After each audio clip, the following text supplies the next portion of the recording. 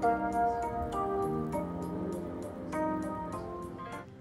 once again, I am here your host, Alicia Miller, and today, guys, our video, uh, we've been to the optometrist for our eye checkup, both of us, my husband, and, you know, this is you know the big privilege here once you have the health insurance you are only paying less and it's very affordable and of course they will gonna check up you know whatever your problem in your eyes and they will gonna tell you. And of course my problem is only my vision you know.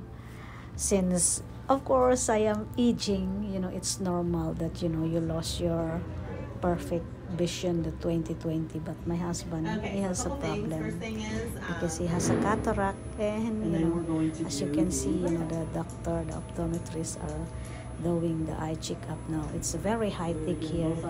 And I like it here because you know they are very approachable. They are telling you what is the truth about everything about your health. Eye eye checkup about your eyes. Breeze. that's my husband and I am the next of course I am dependent to you know his health insurance And now I'm we are choosing my eyeglasses. eyeglasses. You know, this is the good as thing uh, I you have my the, new eyeglasses you know, eye insurance because you can choose. so you can this is my life here in Alaska right United away. States thank you so much You guys know, even though for tuning into my expensive, YouTube channel You know, it's covered God by bless the health everyone. insurance. So that is the good thing here in the United States.